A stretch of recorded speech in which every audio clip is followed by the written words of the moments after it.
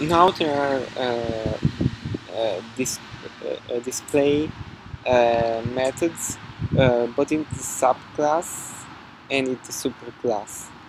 Uh, they have the same name and header and this is a design technique that is called overriding or redefinition and this uh, will make uh, uh, the new design compile and execute, but it's not still completely perfect. and all the subclasses will now have um, two methods with the same name and header and uh, the uh,